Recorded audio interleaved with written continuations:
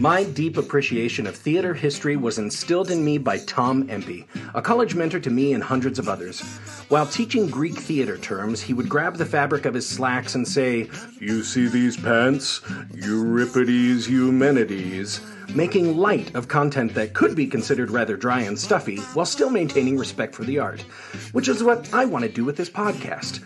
For each episode, I invite a guest from the many paths my theater career has taken me down. I give my guest no idea what we'll be talking about, but they know we're going to find an outrageous story about theater history and perhaps get a better understanding about why we're still doing it after all these years. So, welcome to Euripides Eumenides, and I am your host, Aaron Odom. Apocalypse, apocalypse. I said, why you wanna show up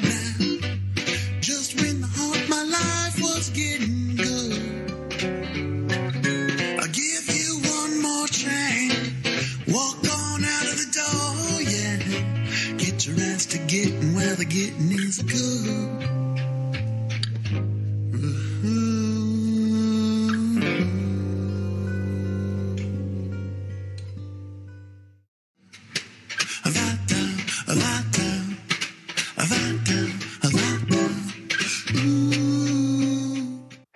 Hello, my friends and listeners. This is Aaron Odom from Trident Theater in Sheridan, Wyoming, coming to you for another episode of Euripides Eumenides, a theater history podcast. I want to thank you all for coming this far on this journey with us. But if you've uh, just happened to stumble onto us, or if you've been listening for a while, I just want to make sure that you're subscribing, you're following this show. Please give us some ratings. That would be really helpful to us, helps us shoot up in the uh, charts, and helps us bring more content to you. But speaking of that content, I'm going to get right to it right away. Uh, this guest that I have on today, we've only been in person like maybe once or twice, but uh, I thought this person was absolutely compelling. Uh, we've been following each other on social media for a little while. She's doing some amazing things, and I'm going to do my damnedest here to get your name pronounced right.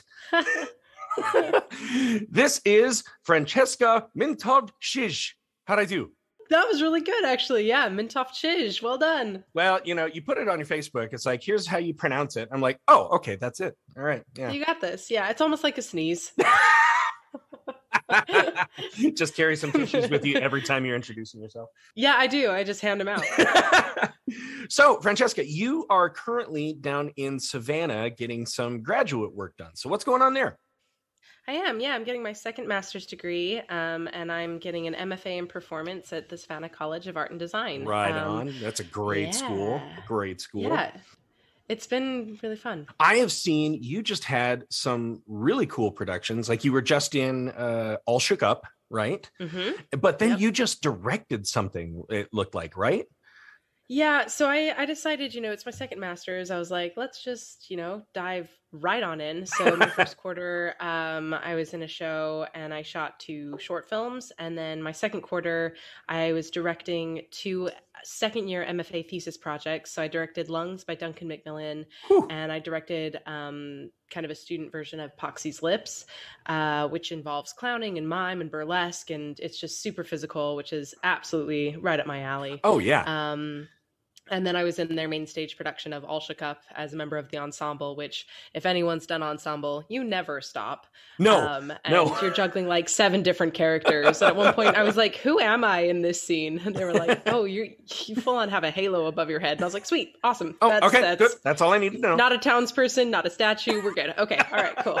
um, which was great because the director as well was like, "Oh, um, wow, like your process, like who are you in this scene?" And I was like, "Not, no, not like what am No, I no. feeling? Just literally, like what am I?" It was great, but the fear in her eyes, when she was like, "Wow, this this ensemble member wants to go real deep here." Just like, oh, Like, God. I've, I've got one of those actors.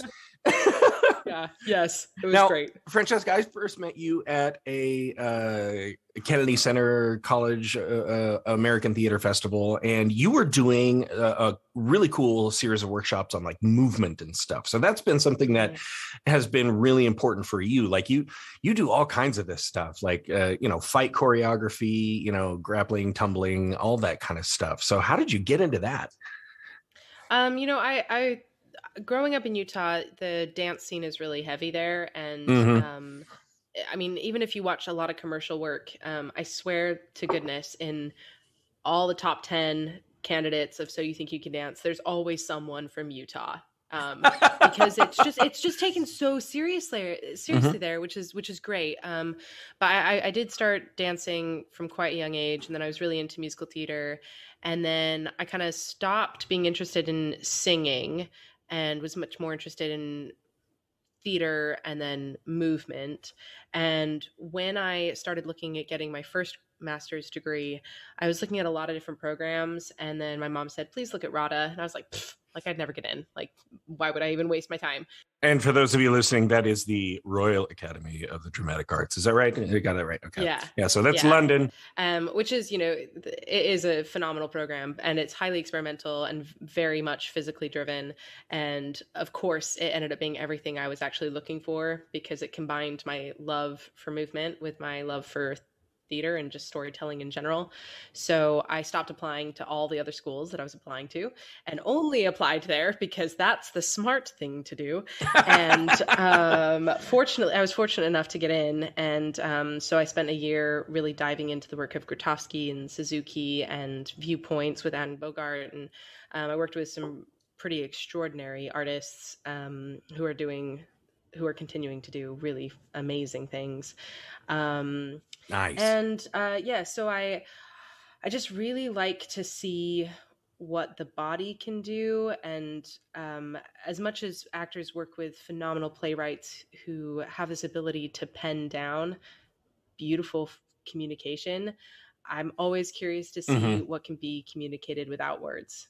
Um, I have you on this show today because speaking of being transformative with bodies and what we can communicate as we be as we start as one thing and become something else, I did send you a little bit of a cheat on what we were going to be talking about. Did you watch that? Oh no! You sent me a, a video thing No? to Okay. show. Oh no, I didn't. Oh, Oh, that's that's fine. That's fine. That's fine. But I do. I have seen this. Yes, Uh, fantastic. You have seen this. Okay. I sent Francesca the video of Jason Segel doing his Dracula's Lament, which is a song he sang in Forgetting Sarah Marshall, but he actually did it on it looks like a late Yeah. night talk show and he actually performed it with his puppet with with the Dracula and it uh, it sounds like it's pretty much written as a cure song. and it's just amazing. With that in mind then, we're going to go ahead and get started here. And here is a long quote. I don't even know what the source of this is. It's uh, but it's a review of some sort that a friend of mine sent me. Here we go. Why on earth Terry Denton DeGray has revived his grandfather's vampire play, The Power of the Cross, is beyond all reasoning, judging by the first performance at Town Hall High Wycombe. I should have listened to the bad vibes. Tickets had not been reserved for me on arrival at the venue, but unfortunately, seats were available, Oh. and I was still able to witness this incredulous production. Gets better. With some of the performances as stiff as the cardboard cutout scenery and some irritatingly amateurish caricaturizations, it was a toss up between desperate sobs or hysterical laughter. Most of the audience plumped for the hysterics. oh dear. To add to the amusement, the scenes were set incorrectly, and one character had to make his entrance through a window twice. Oof. Admittedly, there is some humor in the 90 year old script, but the serious bits were definitely more funny. this quote, compelling or complex and thrilling melodrama, was about as complex and as watching paint dry and not half as thrilling. At the risk of embarrassing anyone, the few cast members who made any sort of impression will remain Oh anonymous. no. End quote. Oh no. And as I researched this, I, I I began to realize what kind of an art there is in writing a bad review. Oh yeah. Oh yeah. I mean, it's poetry at times. Yeah. So, anyway, this is from a review that was sent to me from my uh, by my good friend Richard Jordan, who's a London-based theater producer and journalist. And you may remember Richard from my past episodes, most notably nine and ten, when we d- uh, dissected the Spider-Man Broadway musical. But dissection is what I have in mind again today, and I intend for this to be a pretty interesting discussion and possibly a debate. So, whereas I usually start with a question of my guest, I want to see your response. Why don't vampire musicals work on Broadway? Oh. Well, I mean, where do we even begin? I think I think that there's um, you know, and, and especially coming from a person who is so passionate about stage work, who has found herself in a school that emphasizes film. I'm like, oh, you can get away with so, you can get away with so much more on camera. Uh, so I, I think part of that, you know, there's a reason why vampire books succeed because the imagination mm-hmm. of the Yep. reader really Yep. allows us to transcend what we're reading um, and and make it as grotesque and as gory as we want. But then I think on stage, you're seeing the clumsiness of everything. You're so vulnerable on stage. And it is also anytime you're on stage, we are asking you to suspend your disbelief. And Right. when you're dealing with vampires, uh it's really it's really hard. Yeah, you got to hook them Uh, early and keep them there. Yeah. So yeah, that's that's my gut instinct is just that Okay. th- that's yeah, not a Like it's good like it's an impossible genre or type of thing to put on stage and make it work. Yeah, I mean, like, what are you going to do with something like Twilight the musical? I mean, are you just going to cover cover Edward in glitter, the herpes of the stage, every time he comes out? I mean, I like, hope so. I hope so. Let's do it. we My have God. yet to have a beautiful lighting cue that allows someone to glitter. Uh, we can cover them in rainbows and sunshine, but I don't know. I bet there's an opportunity for really cool projection at something like that. ah, a pro- But it would have to be, like, spotlight so projection. focused. Yeah, Right. It would have to be so focused and oh god. But w- w- here we are seriously considering Twilight to be a musical, and I don't want to even. Please no, please no Yeah. ever. Like, mm, mm. the the world just redeemed Robert Pattinson uh, with the Batman. Let's just let's not. Okay. Um, Batman the musical, though. I mean, we're talking about vampires, bats, Batman the musical. Would it go down in flames like Spider Man? I well, okay. See, on that episode, we also talked about "It's a Bird, It's a Plane, It's Superman," which was on Broadway for a, a little while. It did flop. It only lasted about maybe six weeks before they closed it. But um, you know, the the, the writers had just recently done "Bye Bye Birdie," so it wasn't the writers. It might just be, yeah, it's a fantastical thing that's impossible to put on stage. I don't know. I don't know. Maybe we'll find out. So- I reached out to Richard, who gave me that uh, uh, that review. Uh, I reached out to him on this topic because, as a commercially and artistically successful theater producer, Richard seems to keep his finger on the pulse of today's theater climate quite well. cool. He responded to me with a full column that he wrote on this exact topic for the British theater magazine, The Stage, which Richard contributes to quite regularly. So, in his article, he suggests that creating an atmosphere and suspense on stage is so much more difficult than producing the same effect in film or television. Yeah. I mean, you know, you've got a lot of stuff you do in post production to make something look really scary or sound really scary. Now, however, it can be done, but without the vis- those visual and, and uh, audio effects, Richard suggests that for a play to produce an atmosphere of fear and horror, then what we have is the words of the play to build the mm-hmm. suspense required. While it hasn't worked universally for vampires, it certainly has worked for ghost stories. You know, The Woman in Black was one of the longest running plays in the West End, and it basically uses clever set pieces and sounds with two actors to create its terror. Why can't vampires do the same? Well, you know, I, I'm almost intrigued about the reality of the situation. You know, I think with ghosts, it's what you see and what you don't see, right. and it very much is what you hear. Yes. Um, but I'm I'm go- I want to go like really far back in time and just compare Greek and Roman theater for a moment because I think yeah. um, the Greeks were a very peaceable society. They didn't love war. So Mhm. they wanted to hide all of these violent acts by talking about what happened instead of showing them on stage, which now Oh, yeah. Yeah. revivals of, you know, Oedipus Rex, for example, and just like the puncturing of the eyes. And um, yeah. And you can see the blood squirt and all that. Yeah. uh, which, if you haven't read Oedipus El Rey by um, Luis Alfaro, um, oh, Yocasta punctures his eyes with her fingers, and I like, oh, it's so grotesque and like gorgeous, and I'm obsessed.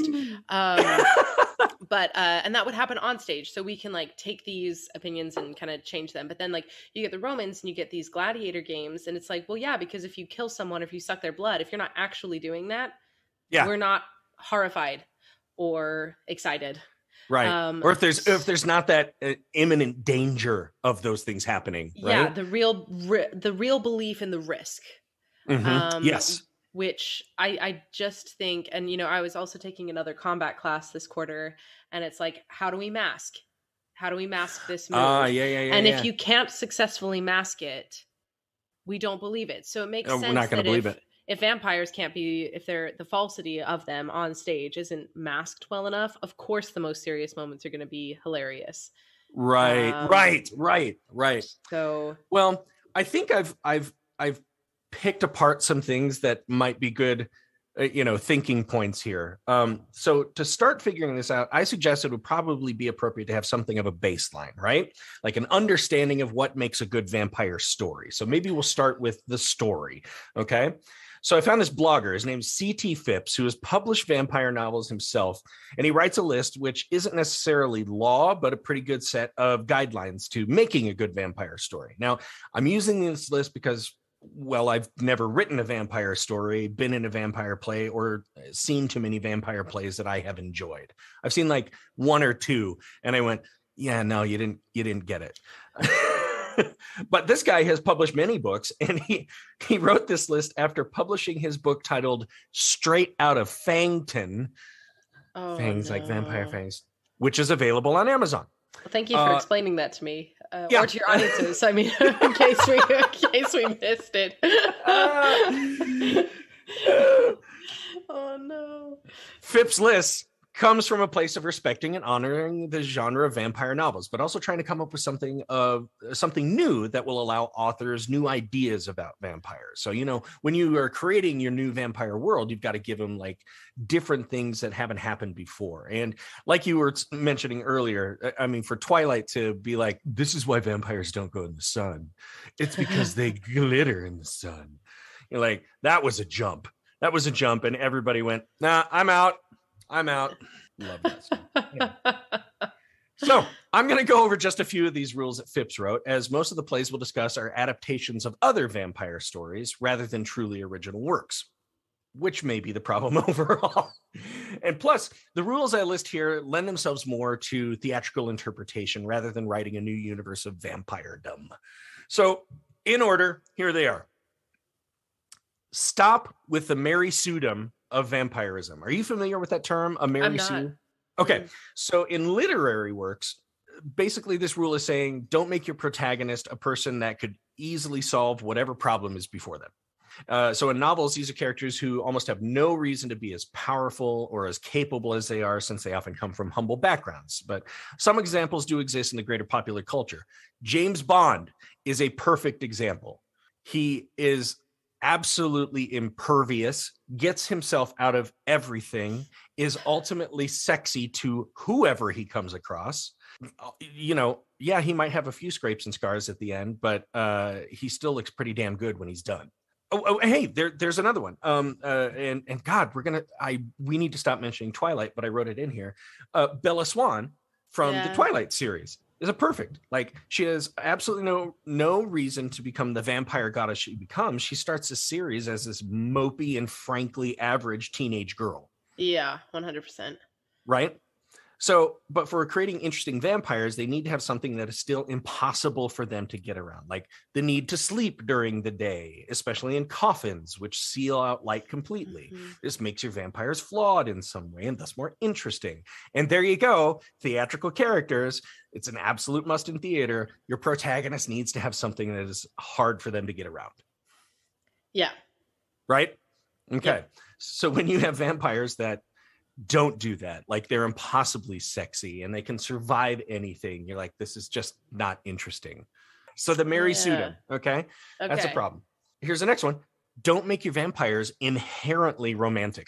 Yeah, Give them some level of repulsion. I mean, they are monsters after all. yeah, So inst- so instead of being utter sex gods, make them ugly in some way. Like um, make the way they feed like absolutely ghastly. I, I- mean, on the other hand, we have been accustomed to vampires in live performance being in the midst of romantic pursuit, which often makes for a good story. I mean, you know, the Dracula story is a great story, and he's he's always in in in the pursuit of Mina, who he believes is his one great love. Okay, fine. But he also turns into a mist, turns into a bat. Yeah. Uh, uh, you know, he he a, wolf He- at one point. Yeah, he's still an animal. Yeah, yeah. So he's like freaky and weird and disgusting. But in any case, to sum those two rules up, avoid making your vampires romance co- uh, romance cover models in pursuit of the greatest love story ever written.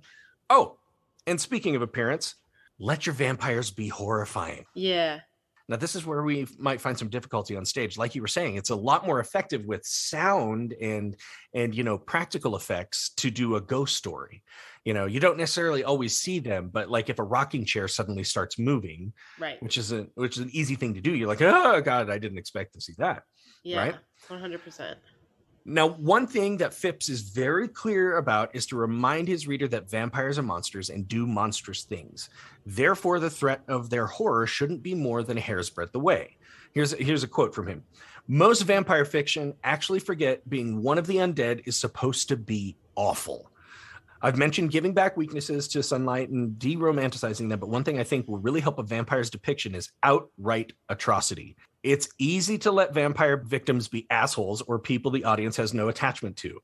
It's quite another to have vampires, sympathetic or otherwise, tear into those who the audience likes. Yeah, I agree with that. Uh, we're going to be talking about it here, uh, uh, but like the character of Lucy in in in the Dracula story, Yeah. this is like Yeah. his central victim, you know, and she's this cute, quirky, very headstrong, rich little snot. but it's somebody that is like an endearing character in all of that. Yeah, I think it's interesting that in all of the vampire stories that we have gone over, um, the vampire is always male and the victim is always female. Um, right, right. God, uh, that's so interesting. But also, like there, there's that you know parallel to women finding these kind of uh, aggressive personalities very attractive, so it's easy for them to be ensnared, um, as Right. opposed to the other way around. But I would be curious to see either a complete mockery of the sexual uh, tension between vampire and victim. No, that's interesting you say that because the next rule that he comes up with is don't try to parody, but play it straight even when parodying. Aha. Okay. So here, Phipps suggests that while there are tons of jokes that can be made about Dracula and Twilight series, you know, I want to suck your blood, and seriously, vampires don't glitter. Say it again. Do it again. Oh.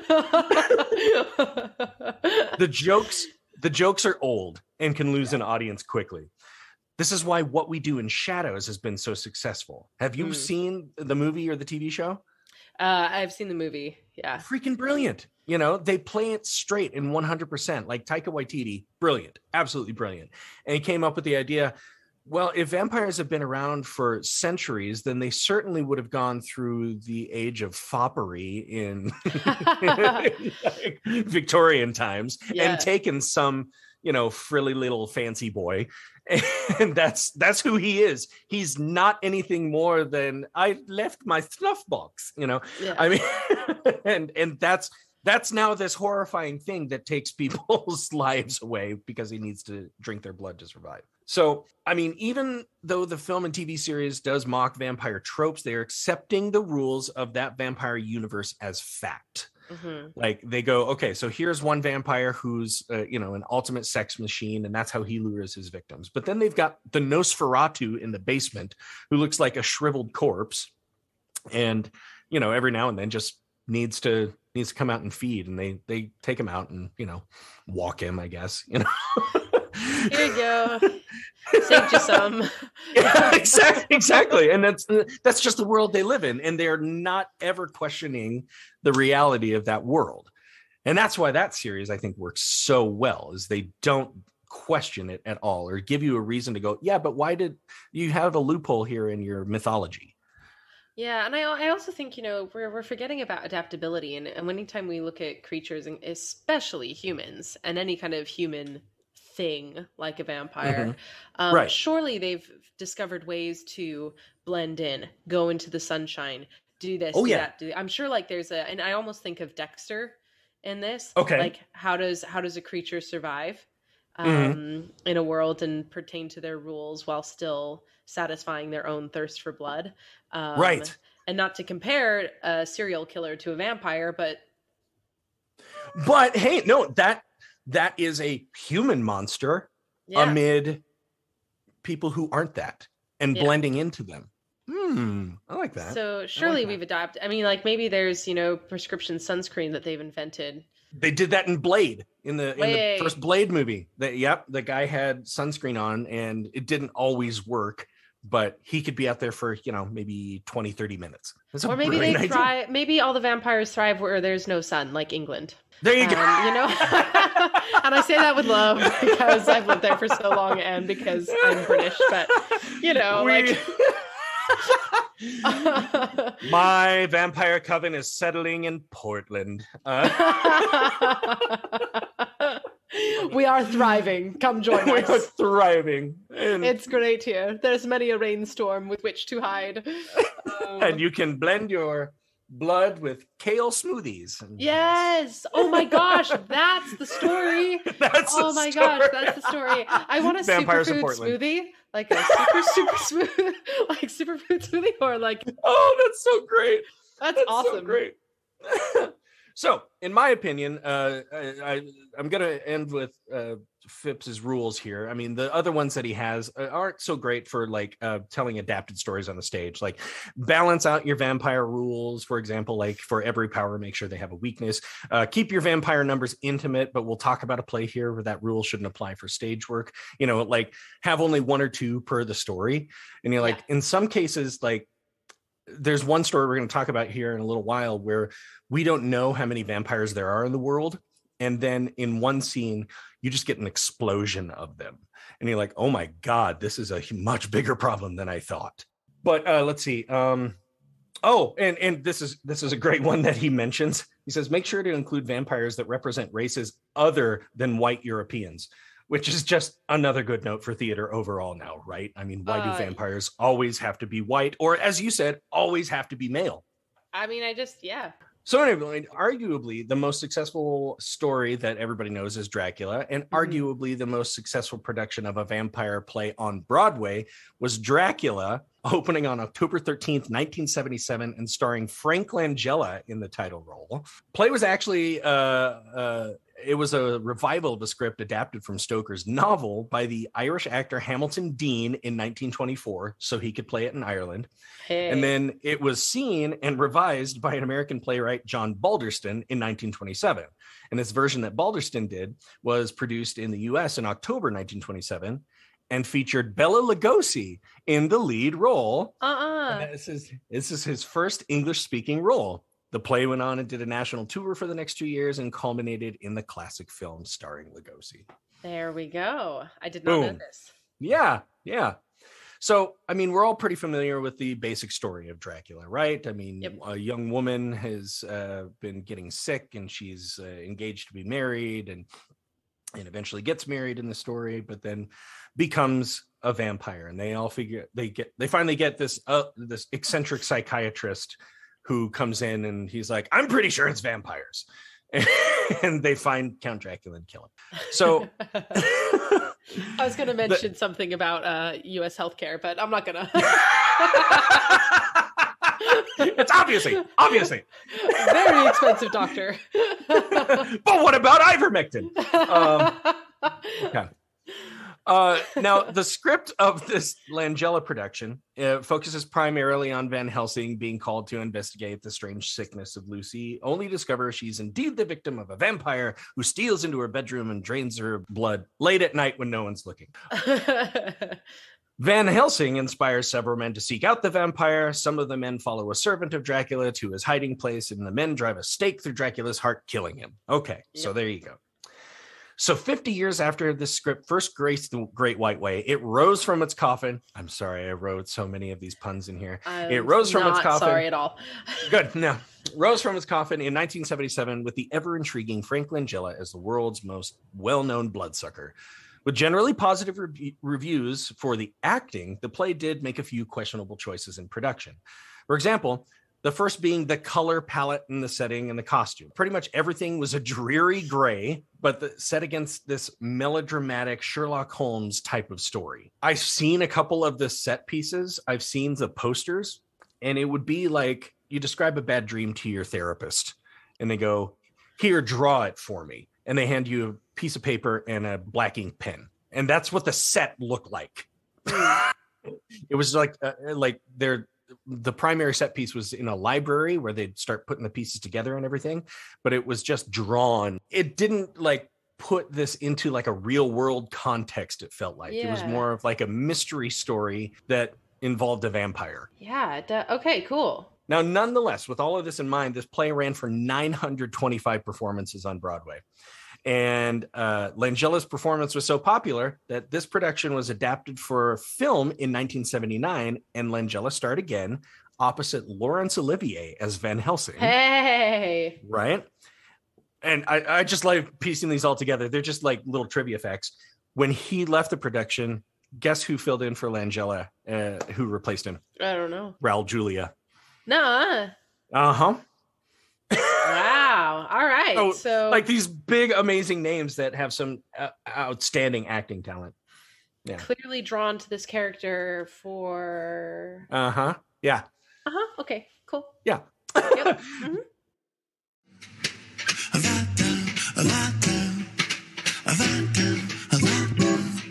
Ooh. So that's all well and good for vampires on Broadway, but it wasn't a musical. So a small attempt was made in 1987 with a play called Possessed, the Dracula musical. And while it had its eyes for Broadway, it opened and closed in Teaneck, New Jersey, in a relatively short amount of time. So here's a um, here's a review that I found uh, for that production. This adaptation has had far from a laudable legacy, with lyrics such as "Love sucks, it drains all your blood. Love sucks, you better listen to me, bud, and leave it to the donkeys, the doggies, and the ducks. Quack quack." I mean, um, Yeah, set to Okay. 80 synthesizers on a nearly bare stage, it is hardly life changing art. That's the end of the quote. yep. Okay. I'm, yeah, I was hoping to be profoundly changed just in Yeah. hearing quotes, but uh, alas, Nope. uh, I, I. I, yeah, don't want to see possessed. So it almost had, it almost had no set. It just felt undercooked. And plus, since most of the reviews were negative, most Broadway producers started to think that it wasn't just this play and production that were weren't attractive. It was the concept of vampire musicals that couldn't be done on Broadway. They saw this one, they heard the terrible reviews, and they're like, "Well, that's just a franchise. It's never going to work." Huh. So vampires didn't really get to Broadway again for a further 15 years. The 2000s actually saw three separate attempts to capitalize on the vampire musical on Broadway, and all met with virtually the same success none. Yo. You know what I'm talking about? Why don't you tell our listeners? Earlier, you said something about, I'd love to see a mockery of this. Eh, oh my God. This story, I could do a whole episode on this next one. There was so much here, but I'm like, ah, I want to talk about the vampire musical in general. But anyway, in 2002, a play which had already seen some great success in Austria and Germany was looking to enter English language markets. The show was Dance of the Vampires, a stage adaptation of Roman Polanski's cult classic horror comedy, Fearless Vampire Killers, or Pardon Me, but Your Teeth Are on My Neck. I hope that's a line in the play. Um, Pardon me, your teeth are on my neck. Oh, I just noticed. That seems out of place. Please don't puncture my artery while you're I there. would, I would rather you didn't. I rather like them intact. oh Okay. lord. I'll do my best to summarize the plot. Oh gosh. Professor Abronsius and his meek sidekick Alfred are traveling the Carpathian Mountains to search for proof that vampires exist. They stop in a small town where Alfred becomes enamored with the daughter of the innkeeper of the inn they're staying at. This daughter, her name is Sarah, is also the amorous target of Count von Krolock, who very quickly reveals he's a vampire. Like no no secret there. Uh like the first time we see him, he bursts through the ceiling of the girl's bathroom where she's taking a bath and tries to bite her and, and spook her. Oy. So hijinks ensue. Sarah is kidnapped to the Count's castle, which is scheduled to have a huge annual ball in which all the vampires meet and have a good feast. The professor and Alfred manage to infiltrate the ball, barely escape with Sarah, but we find out that she's already turned been, turned into a vampire. She bites Alfred, No. and the vampires disappear into the woods, allowing the curse of vampirism to spread. oh no. I know it's happening. That was the origin story. So There you go. now, while the German language script was something of a serious gothic rock opera, I'm like, okay, I can see how you could make Uh. that serious, but the source material was definitely very tongue in cheek, very, very like, "Eh, eh, eh," you know, nudge, nudge. Yeah. Like it was written by the same creative team behind the Rebecca musical, which we discussed in episode 19, that has seen huge success in every market but Broadway. Like there was a huge scandal behind that. Go back and listen to episode 19 if you want to know. The producers of the English language version sunk their teeth into this project, but wanted to make some air quotes improvements. yeah. Yeah, and don't you love that when you're like, "Hey, we have this really cool thing, and we're going to take it to Broadway." Uh, I suggest some changes. Before we do that, uh, what would what would you think if there was a dog one of them carried all the time? No, of course. Uh, let's make them all children. Just to Um, yeah, I mean just to merge, you know, Annie and the Wizard of Oz into the vampire movie because those are Those are- marketable. Those are really classic. People seem to like those. People like kids and dogs and Kids and vampires. so and let's just Uh, Let's smush them. merge. No, Yeah. no, I'm not not suggesting that happen. But at this time, we might have just created a recipe for success though. but there is a there there is a show. there is a show out there called The Musical of Musicals, The Musical, and it Oh, merges like everything, and they even include like a chandelier from Phantom of the Phantom to come crashing down onto the stage. Yeah. Excellent. So, no, in 2002, adaptations of film comedies were becoming popular. So, like the producers, yeah. okay. Yeah. and we all, you know, as we suggested, the cult following of Polanski's Goofy Muse, uh, Goofy movie. You know, they're like, okay, so people people want to have fun with this. They want to see it funny. Yeah. Okay. So basically, they were going to do that great old showbiz thing where they take something that's working and improve on it for Broadway. And what it sounds like they intended to do is make this this. they wanted to make this show the production value on the same scale of Phantom of the Opera, but somewhat satirize, Oh. but like somewhat satirize the genre. like I'm just watching Ah. the gears turn in your head and like things are tripping. Yeah, I wish I wish the audience could see my eyes squinting because it's most unattractive and also hilarious. As I'm trying to work just- this out. You're like, uh, this okay, okay. Like like you're wanting to root for it. I see it. yeah, if I were a producer and you were interviewing with me for a project, you would very much be able to see how transparent I was in my very quickly go disdain for this "Oh, idea. Okay. Okay, so you're not oh, okay, fine. So, as we'll see in later entries here, the unfortunate side of bringing a show to the biggest commercial theater market in the world can be fairly complex.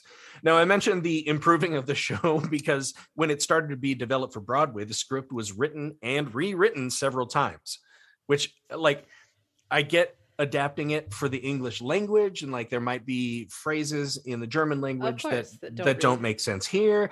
I can understand that, but that's not what was going on. they were like they, you know they took ba- the basic line of the story and just started writing different things around it that basically had nothing to do but kind of fit the mold of let's make this a funny adaptation of a of a movie Cool. So, um, for Mm-hmm. listeners, that is the recipe for success. That's the true one: is to take something that has uh, been successful in a foreign language and bastardize it. and completely yep mhm, Okay. mhm. All right. yeah Cool. yeah we've Well done. there is one that I wish I would have put on here. Um, uh, that was a really cool adaptation, and I want to do it someday. Is the, uh, Let the Right One In? ah. Oh God, have you ever seen that Uh. uh Swedish movie about uh, uh like a 13 year old boy in uh, an apartment building in um in Sweden? He gets a new neighbor next door. And one night he's out in the little courtyard of the the apartment building playing on like the the monkey bars or something and he looks up at the room at the house or the apartment next to his and they're like taping cardboard up over the window. And you're like, ah, I see that sometimes. Maybe that guy works at night and has to sleep during the day or something. Turns out his next door neighbor uh, is. Um, like the keeper of a girl vampire like she's 11 years old and anyway it like becomes this amazing story of how dangerous codependency can be. Ooh. Th- because that's what this girl has been doing. Like she's been grooming like somebody to take care of her by finding these absolute loners who just need somebody to go you know what? You have a purpose in this world and it's to be loved by me. When really it's you're there to find the victims for me so i don't have to go out and hunt. Yeah. And then once that person gets caught for murdering people then she goes and finds another one. I just yeah, I think that's a really interesting take on it. And I also think um it just triggered a thought about keeping vampires for pets. Mm, i like that. And like, like, that. and having to go hunt for them. yeah. Yeah, I think that's a really you know, I've I feel like having spent so much time in Wyoming too, I can see like these hunters going like hunting for deer um, in air quotes, which the audience Yep. can't see me do, um, and bringing back I, either carcasses um, for Mhm. the vampires to feed on, or and then you can see them like, and it's like twisted and bizarre because then they go out line dancing in Right. the east.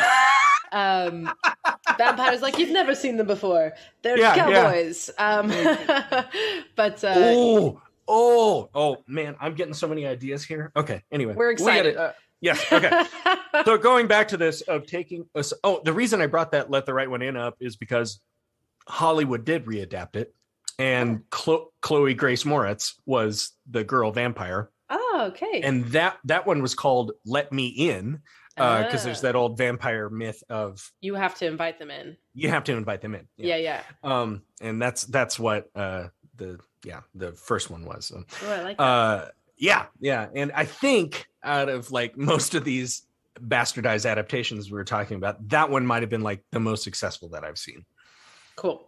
because it's like you know girl with the dragon tattoo it Yeah. was fine. We didn't need another one of those but we got some really cool performances and sick weird art out of it but anyway. So back to dance of the vampires. Um the musician brought in for the score and lyrics was jim steinman who wrote and produced a lot of pop music in the 80s and 90s Okay. as something of a love ballad between Sarah and Count von Krolock. Steinman wrote a song of his, he rewrote a song of his to fit the show. The song was Total Eclipse of the Heart.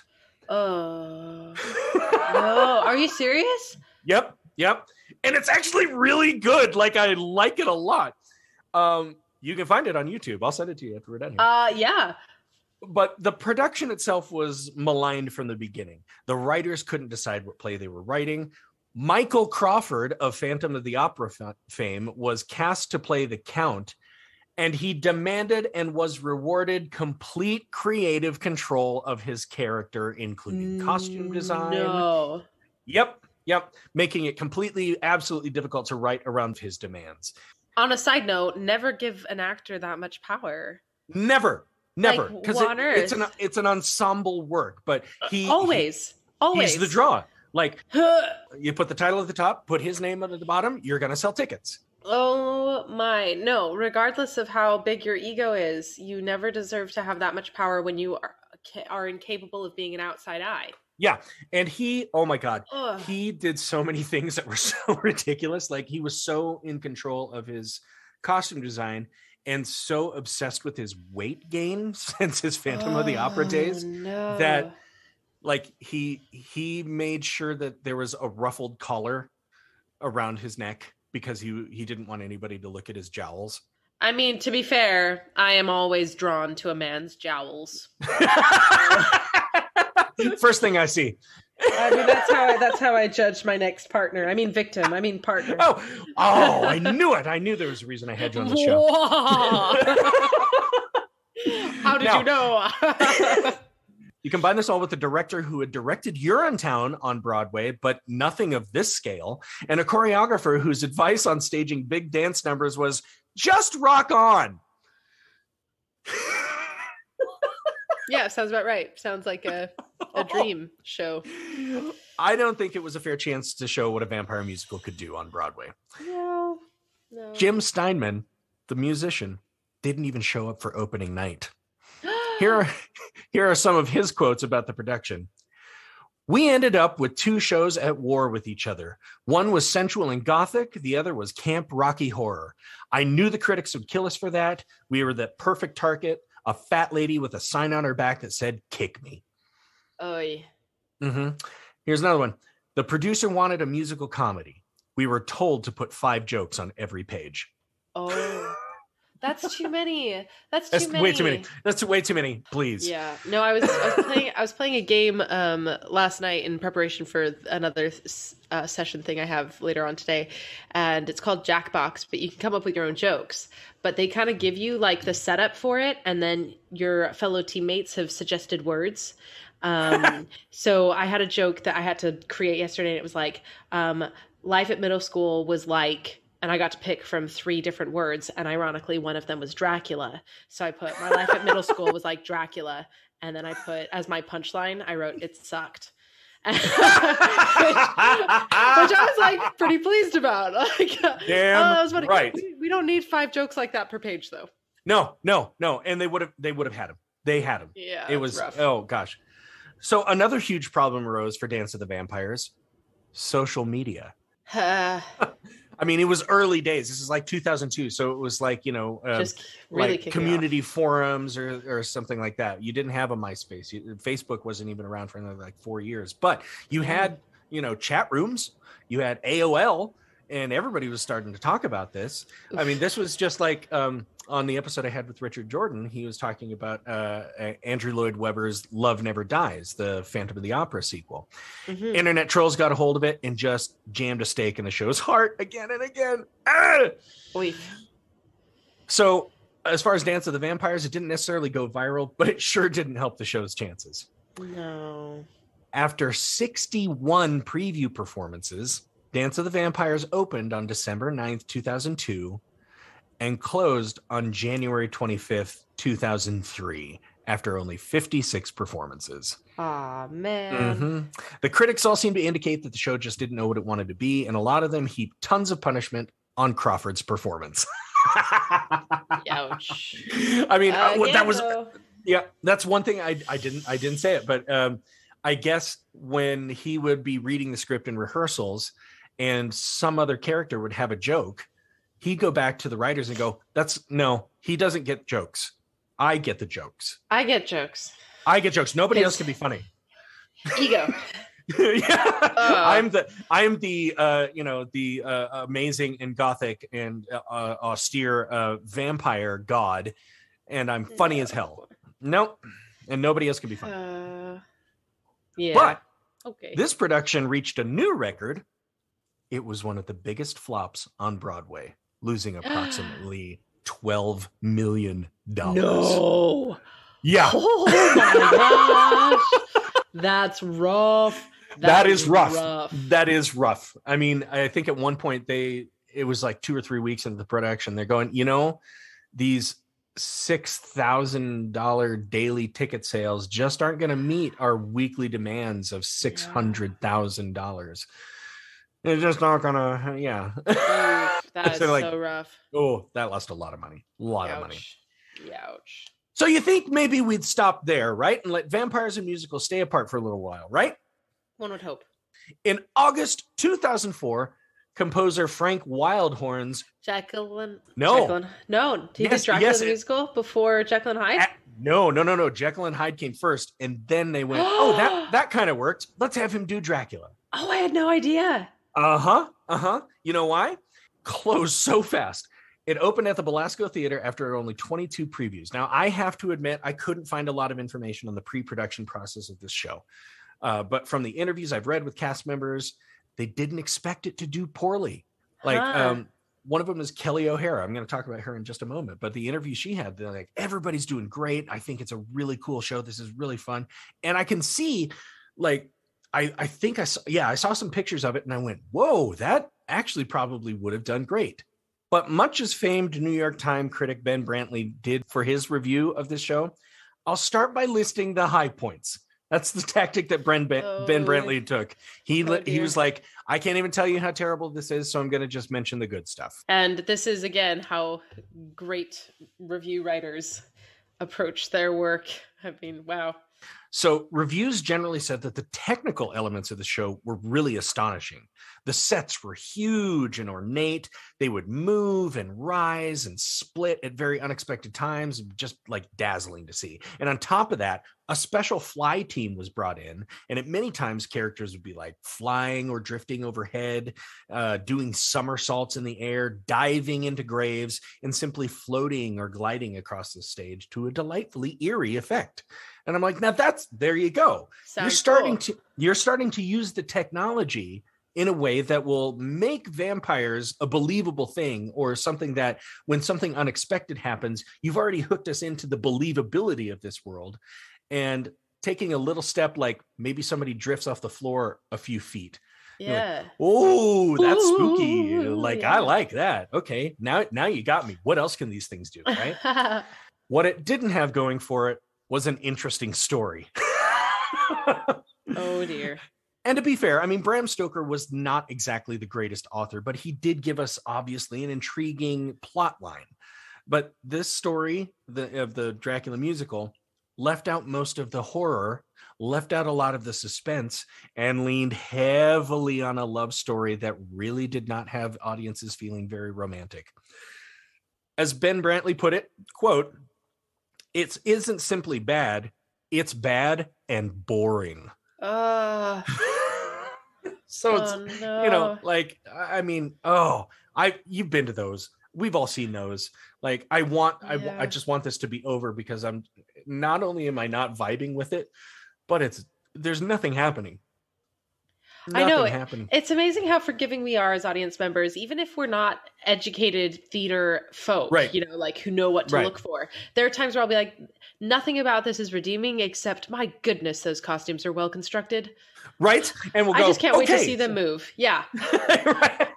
Uh, yeah, 100%. Um, oh, So thus it was the awful lyrics, the terrible book, and mostly the horridly over melodramatic music that just put this show underground. And I don't know him all that well, but what from what I understand, he's pretty divisive. I mean, I mentioned Frank Wildhorn, you're like Jekyll and Hyde. Like yeah. there are those people who really like that show. There are also the critics who are like, you seem to know how to make big music, but not necessarily really good music. You Uh-huh. know, he's he's no Andrew Lloyd Webber.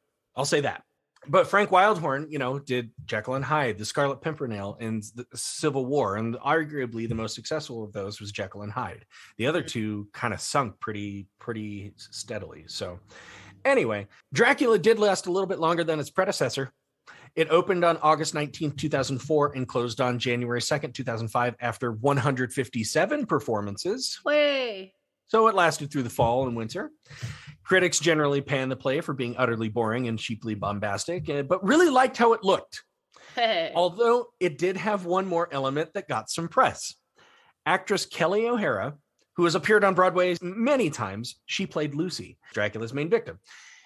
In what has been suggested to be lengthy and unnecessary, O'Hara appeared nude for quite a long time in one scene. Nobody could really figure out what the director was going for, as it seemed to be brought about by nothing that preceded. Uh, okay. Well, I, I think about the the the Coppola film with Gary Oldman as Dracula. Like there was a lot of sex and nudity in that show, but that was Coppola's like interpretation of that thing. Like there's some sensuousness to it. There's some sexuality going on. There's some sexual charisma. But on stage, and especially on the Broadway stage, if you're not Yeah. expecting it, if it's and if it's not earned, I feel like nudity has to be earned. Right, And Right.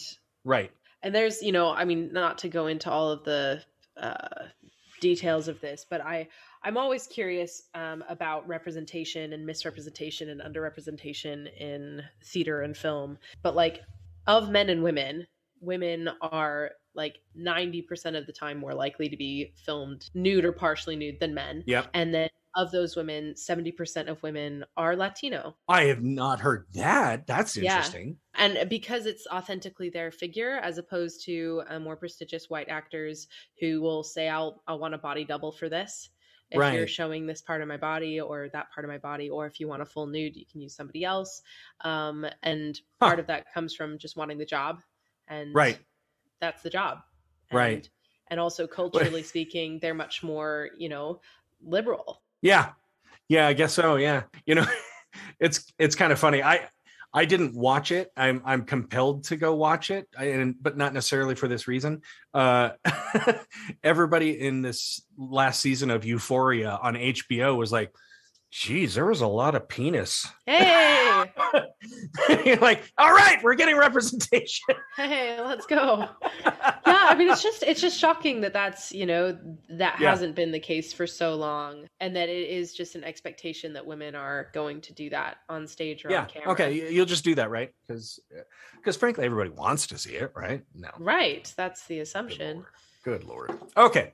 So you think that would be it for vampire musicals, right? No, Nope. So up to this point, we've run into several problems that may not be specifically related to vampires, but rather how to make a vampire story into a big commercial musical. Perhaps we're just getting the wrong creative team in place, right? I mean, on the last one, you had Frank Wildhorn, but you had people who were like, eh, they might be a playwright. I don't know. So let's offer one up. Let's offer one up with a lot of big names who have had a lot of success on Broadway. That might be it, right? Here's hoping. Yeah. So here we go. First, we focus on a vampire franchise with a built in audience. Got it. The Vampire Chronicles. Anne Rice. Okay. Perfect. Do you know about this one? Uh, no. Oh my God. So the movie Interview with the Vampire, that's been done. So let's do the sequel book as a musical The Vampire Lestat. Perfect. Oh, Uh huh. Uh huh. And I'm reading the novel right now. Let me just give you a summary of the novel. So, just as Interview with the Vampire was the story of Louis, the sequel focuses on the charismatic and sensuous vampire who created Louis, Lestat. I love this. Francesca, you are like completely gobsmacked here. I am. I've got my fingers to my head, my jaws to the floor. I'm listening in complete disbelief as if the words cannot continue to come from Oh, your mouth, oh, but they are. Okay. All right, So, all right. so yeah. Um, continuing with the summary of the novel, we find Lestat has become something of a dark glam metal musician, and he is sitting down to write his autobiography before setting out on a world tour with his band. No. I love the book; it's really good.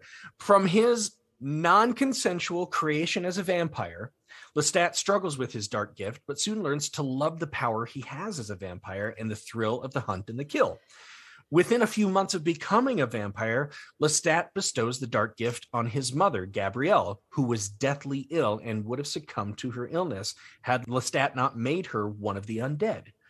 The two then ah. become something of a couple, like they're companions now.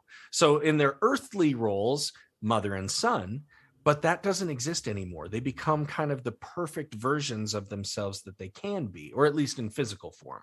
Like she gets young and like her youthful body comes back to her and her hair gets full and and, and luscious and same with him like he he you know he, his muscles become more taut and everything and he's like six foot tall and just blonde and gorgeous and everything and they intermingle with humans like they love being amidst humans and knowing that this is their prey and they are among their prey. So it's thrilling for them.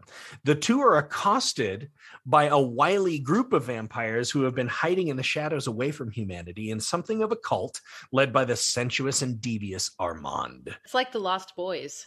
yes, yeah, exactly.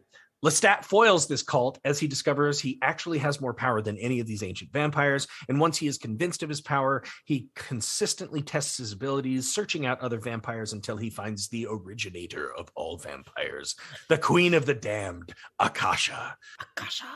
Akasha. I feel like already we can hear the music. Akasha. So it's a pretty sweeping story. Like there's some cool scenes. Like I, I there are bootleg versions of this on on YouTube that you can watch the entire thing. And there are two different versions of it like there's the out of town tryout in san francisco which uh, from what i understand was much bigger and more impressive than what finally went to broadway so anyway Huh. pretty sweeping story he struggles with the limits of his own power and the loss of the companions he brings into his life who all seem to find a reason to leave him Hmm. so we're kind of building something of a tragic character here. I mean, it's got some great opportunity for character development and seeing some great flaws. Plus, we've got these fantastical scenes that are going to involve huge numbers of vampires and seeing what they can do it seems like a, a neat idea. Like I can see a choreographer just really having a ball with trying to figure out how to make that kind of movement yeah. of these like ancient vampires who believe that they're supposed to be away from the mortal world. Like that, that's the Yeah. cult that they're in. They believe that. that as well as like this concept of the animal that they're attuned to. This Right. like and how they use their wings to dance. Like what is Ooh, that? yes. See, there you go. I see you doing it already. I love it.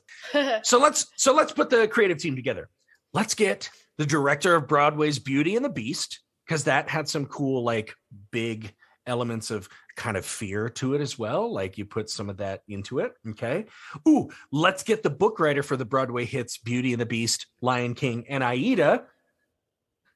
And speaking of Lion King and Aida, let's get Elton John to write the music Oh, and his okay. longtime writing partner Bernie Taupin for the lyrics. Wow. You have this huge team on this. I mean, yeah, that's those are some big names. on top of that, let's get some amazing new ideas for scenery. Projection. Yeah, yeah. We love projection. This was used quite well in the out of town tryout in San Francisco, and most reviewed mentioned how the innovative play's use of projections were. Oh, ah, cool. One example is a visual representation of what goes on in the mind of a vampire when taking a victim. Now, from what I understand, Yeah, okay, check this out. From what I understand in Anne Rice's vampire mythos, vampires can't actually have sex, Aha. but the act of biting and drinking is basically orgasmic. Cool. Well, that would have to be because I think, you know, oh, human beings only need three things, right? In life, they need food, they need water, and they need procreation in order to survive and have their species survive. So, So let's let's cr- put all of those things into one act and there you are. yeah. So cool. when a vampire would take a victim on stage, this glorious animation would play behind them on the projection screens and it's look li- it looks like you're traveling like a microscopic being through well lit blood vessels as though Yeah. flying through these great caverns. cool. It was it was really cool. Well, it fell flat. Not only were pretty much all the creative decisions criticized in reviews in San Francisco, but the casting was hit pretty hard as well. Basically, it sounded like the script was too ambitious, cramming in way too much, and not giving the characters enough time to develop at all. They were basically bouncing like ping pong balls from moment to moment through vast eras in time. And on top of that, the moments were frankly boring, but perhaps this is because we didn't have actors that were capable of doing much with the script. Ooh. Let's see. Oh, hey, what did they do when they took it to Broadway?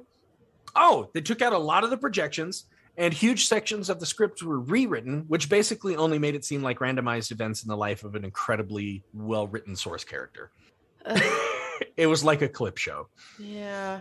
Yeah. So here's uh, one of my favorite lines from the San Francisco reviews didactic, disjointed, oddly miscast, confusingly designed, and floundering in an almost unrelentingly saccharine score by Elton John. Zing!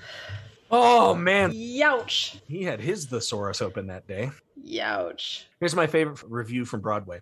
Let us only pray that the three strikes and you're out rule, applicable in baseball and in some states' uh, law enforcement practices, also applies to musical theater genres.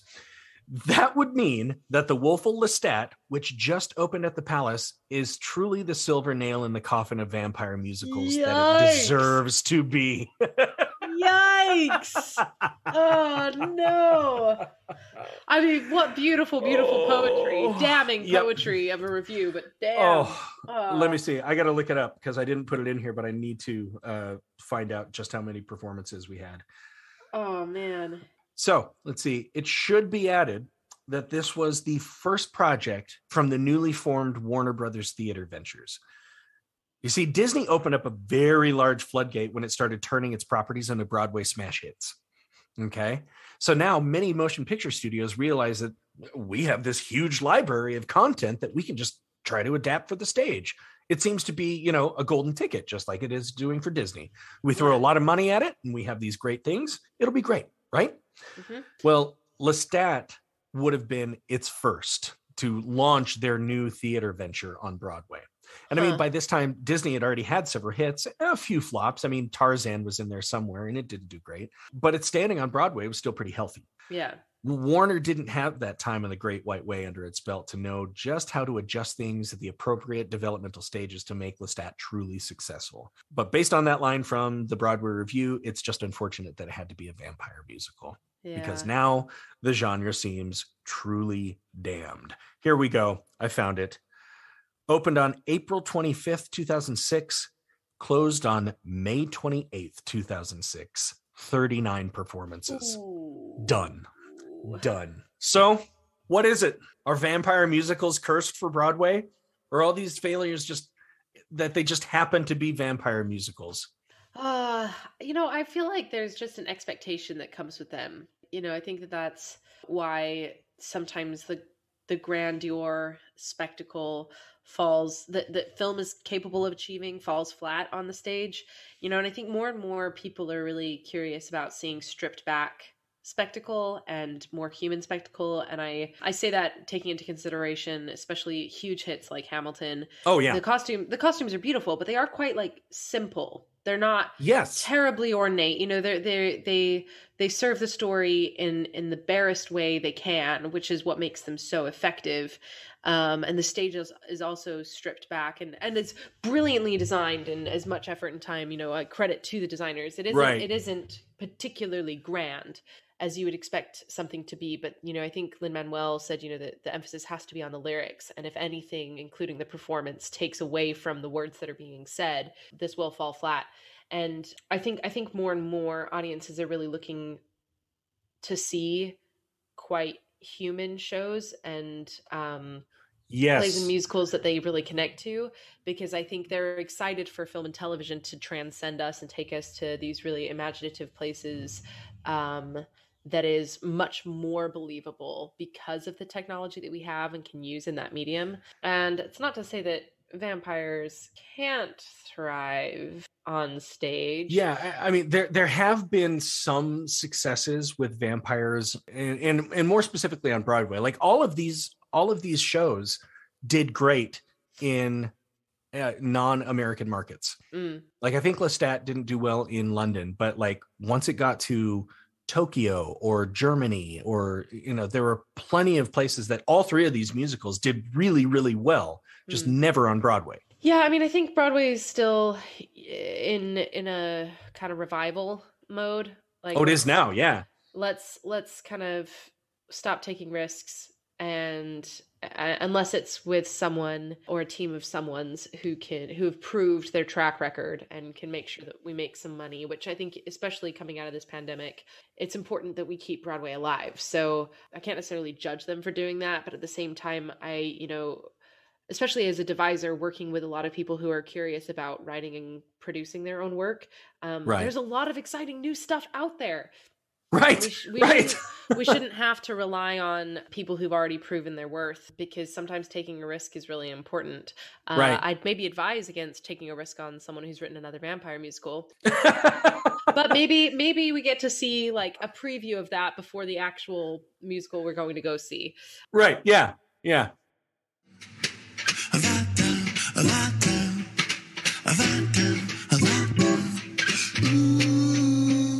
Do they rise from the ground? Do they rise from crypts? Do they fly? Do they float? What do they do? You know, I mean, maybe, maybe it's just as a culture, we don't have enough universal ideas about vampires. Yeah. And and I think we're afraid of breaking the mold too. I also think there's been so many like especially Twilight that's already happened, that's already still a trend and still a thing that people are really attached to. So um dare we suggest that vampires are capable of something else if not more? Um or will it just drown in the other sea of vampire stories? You know, you mentioned Beetlejuice but also Young Frankenstein. Um and I'm I, that film I watched growing up it is my family's favorite film to watch together. It's my dad's favorite. And when my mom said, "I've I've I've got you tickets to see it in in England," he was like, "You're joking." He's like, "That's not going to be funny." And he said he'd never had a better time um, at the theater. And and he's saying that to his daughter, whose life is theater. And I was like, "But dad, what about my tiny black box shows. But no, I mean it was it's great. You know, it's great that there are people who can who can take something that's really well known, especially a film, and bring it to stage because you know there is this war and I, I'm I'm not thrilled with how many musicals are becoming movies because that means that fewer people are going to investigate the musical theater world and actually go and see these plays live. Yeah, right. That being said, I've heard nothing but grand reviews about the most recent ones of West Side Story and Tick Tick Boom. So it's it's just a balance, right? So if if, if the Yeah. stage can do the same thing and take films and make them really really solid musicals that have uh, have strength and and have an audience that keeps coming Yeah. back, like Beetlejuice, you know, that's that's stellar. There was one other franchise I thought that might work because it did have a good built-in audience and and a more directed thing that you know it's not it's for a very niche group but they could do it was uh True Blood. Ah, yeah, You know the Southern Vampire series. I mean, it's very sexy and and you know it had had a lot of draw, but I don't know. I don't know. I'm just spitballing ideas. What a topic! What a story! What an adventure we've gone on here. Uh, Crazy. all things. Yeah. Well, Francesca, thank you so much for joining me on this one. I don't know Thanks if we solved me. anything, but No, I But boy, think just more we hear some- questions. But yeah, I, I have more questions now. that's that's what good art is. It should provoke more questions always. If we found Yeah. the answer, then what's the point? and I can't wait to hear from you in the future when you're like, yeah, I listened to those musicals. They suck. That or my only audition song ever is from. and uh, I've I've booked every role with it. So that would be amazing. that wouldn't that be stellar? Oh, I'd be thrilled. Actually, I'll, I'll I'll end with this. One of the high points of the Lestat musical that everybody commented on, the woman who played his mother character, Gabrielle, uh, in the song where she is describing to him the reason why she has to leave him. Like she's absolutely compelled. There's no way they can go on together as a couple. The woman who sings that is Carolee Carmello. She has this belt that is just outstanding. And this Ah. song gives her the opportunity to do it. So if you can loo- look it up, I think it's the song called The Crimson Kiss. But good lord, like she soars through that song. And you're like, I would go see that for that alone and then leave it intermission. Very cool. yeah. Very so cool. there we go. Look that up, guys. Um, but anyway, this has been Francesca Mintowt-Czyz, uh, coming to me from Savannah, and I am Aaron Odom in Sheridan, Wyoming, from Trident Theater. Thank you for listening, and we will catch you in another two weeks with another episode of Euripides Eumenides. I'll see you at intermission.